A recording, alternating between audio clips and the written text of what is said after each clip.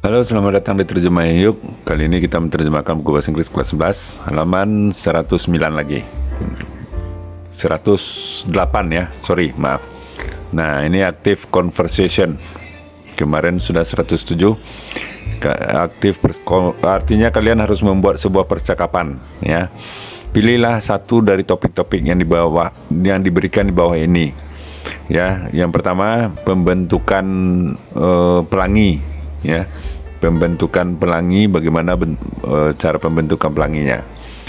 Siklus hidup binatang bagaimana tsunami itu terbentuk. Hmm. lakukan penelitian da, e, dalam apa pun ya topik apa pun yang diberikan yang di atas. Jadi pilih dari yang tiga ini. Misalnya kalian memilih untuk bagaimana tsunami itu terbentuk Nah, lakukan penelitian tentunya dengan mencari di Google. Ada banyak itu bagaimana uh, tsunami itu terbentuk. Dan jelaskan kepada teman atau presentasikan di dalam di, di, di depan kelas. Pergunakan teks uh, format format teks eksplanasi. Yang sudah saya sampaikan caranya pada uh, halaman 107 ya.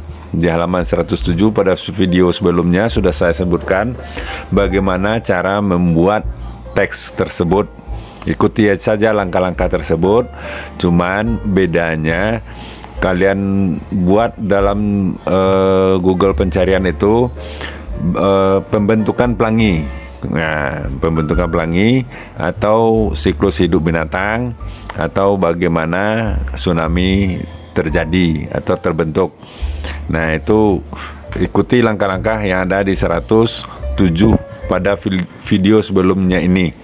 Nah, uh, mudah-mudahan itu gampang itu ya. Lanjut kepada halaman 109. Ini kalian menulis ya, menulis sebuah uh, teks eksplanasi.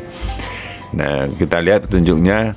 Tulislah sebuah teks eksplanasi dari beberapa topik yang diberikan pada percakapan ya aktif percakapan e, latihan percakapan artinya pilihlah salah satu dari topik ini ya dari tiga topik ini yang akan kalian buat menjadi percakapan ya atau uh, any topic of your choice atau pilihlah topik apa pun yang kamu sukai ya. Uh, bisa mungkin bagaimana membuat apa misalnya atau bagaimana atau uh, kejadian alam ya. Misalnya bisa jadi bagaimana hutan terbentuk ya. Bagaimana misalnya uh, apa lagi? Banyak ya. Uh, lautan terbentuk atau pulau-pulau terbentuk ya banyak ya. Kalian cari di Google atau uh, di internet silakan. Pastikan kamu mengikuti sus susunan dari teks eksplanasi yang telah kamu pelajari pada building blocks jadi sama caranya dengan di halaman 107. Lihat video 107 lagi ya. Kalau ini melalui percakapan. Ini sorry, ini buat percakapan ya. Kalau ini buat teksnya ya. Nah, kalau ini cocok nih di 107 di video sebelumnya bisa kalian pelajari. Nah, kamu harus kamu juga harus mengikuti proses penulisan apa proses penulisannya yaitu melakukan draft. Jadi kamu tulis dulu uh, tulisan pertama itu adalah tu, uh, disebut dengan draft.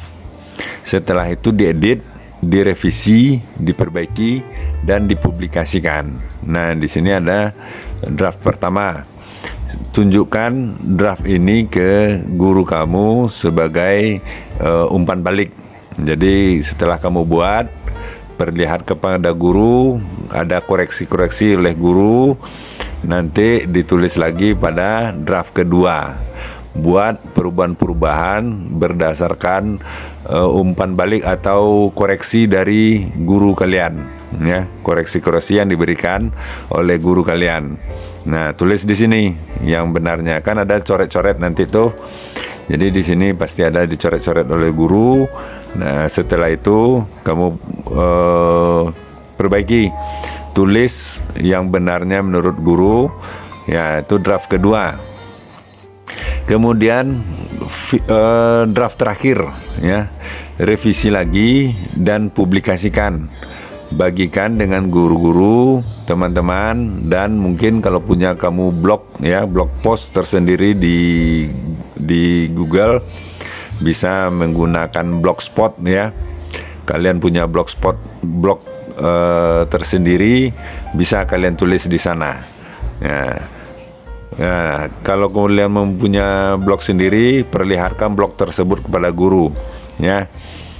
Kalau kalian ingin belajar bagaimana membuat blog, silakan uh, menggunakan blogger. Cara membuat blogger, ya, atau blogspot. Lanjut, nomor F. Mari berkontribusi atau mari berkarya atau berkontribusi, ya.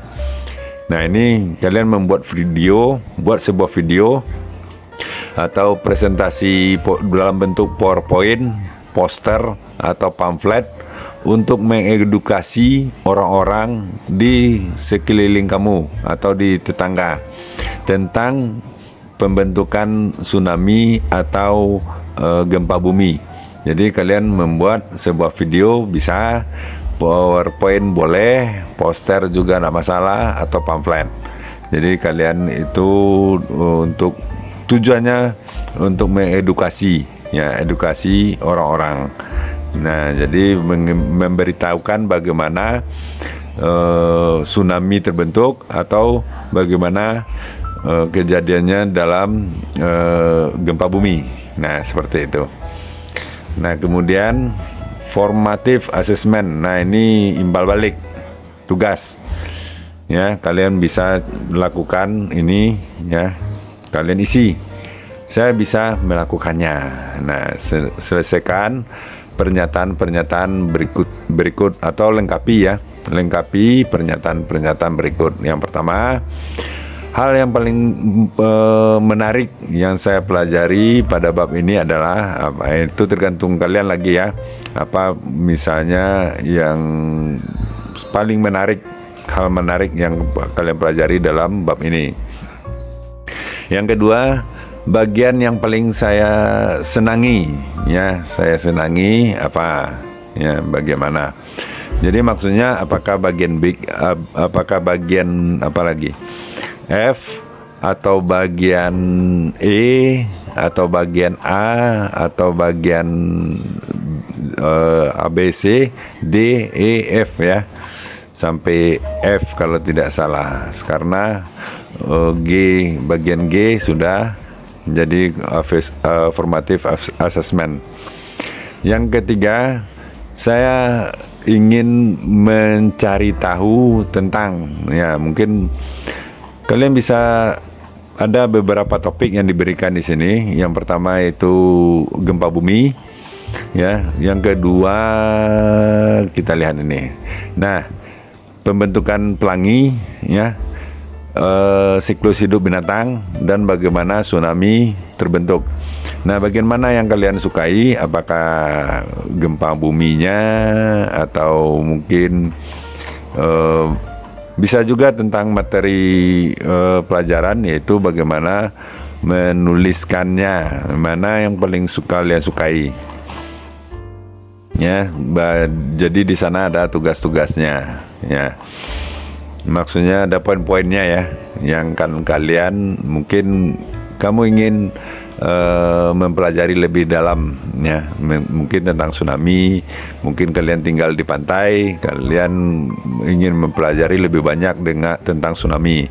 Atau mungkin kalian sering uh, di rumah kejadian gempa bumi.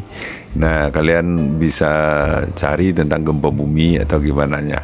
Atau suka dengan pelangi bagaimana uh, kamu kalian pelajari? Silakan. Nomor 4 bagian paling susah pada bab ini apa? Ya, apa bagian paling susah dalam bab ini. Mulai dari A sampai F ya. A, B, C, D, F, G ya sampai F. Bagian mana yang paling susah? Silakan dan berikan alasannya sebaiknya. Saya ingin bekerja lebih keras pada bagian mana? Nah, biasanya nomor 4 dan nomor 5 ini berkaitan. Kalau paling susah ada kamu bagian A misalnya paling susah atau bagian F paling susah, maka di uh, kalau bagian F itu adalah membuat karya. Nah, kalian harus lebih banyak lagi uh, uh, apa namanya mempelajari bagaimana cara membuat sebuah karya seperti membuat video, PowerPoint atau poster atau pamflet. Nah, itu hubungannya ke sana. Nah, berikut baca pernyataan-pernyataan di bawah ini dan checklistlah pilihan yang paling cocok untuk kamu. Nah, jadi yang pertama uh, tugas kalian adalah membuat checklist-checklist di sini. Kalau cocoknya paling cocok, ya. Kalau kurang cocok, maybe. Kalau tidak, kalau tidak cocok sama sekali, itu not at all, ya. Nah bab ini uh, gampang dimengerti. Nah, kalian kalau kalian gampang kalian rasa bab ini gampang mengerti, checklist yes. Kalau ragu, checklist maybe. Kalau tidak, checklist no. Kalau tidak mengerti sama sekali, nah checklist not at all ini. Berikut saya tahu apa disebut ya apa pengertian dari teks eksplanasi. Nah, kalau ya, kalau paham ya mengenai apa yang disebut dengan teks eksplanasi, ditulis yes, kalau ragu tidak, kalau uh, ragu maybe, kalau tidak no, kalau tidak mengerti sama sekali not at all. Saya tahu kenapa teks eksplanasi diberikan. Nah, kenapa uh, di uh, teks eksplanasi itu di, ditulis ya. Kenapa? Karena teks eksplanasi itu untuk memberikan penjelasan kepada orang ya, ya si, si pembacanya. Jadi kalau kalian tidak mengerti, mungkin not at all seperti itu. Nah, berikut rencana saya untuk menyelesaikan kesulitan-kesulitan yang saya hadapi pada bab ini. Ya, apa rencananya? Mungkin lebih mempelajari uh, memperdalam tentang bagaimana membuat poster misalnya atau mempelajari lebih dalam tentang teks eksplanasi itu apa-apa saja apa pengertiannya kalian harus punya uh, tentu punya kesulitan masing-masing ya Nah, barangkali itu dulu untuk kali ini. Jangan lupa subscribe dan like videonya. Mudah-mudahan bermanfaat. Sampai jumpa.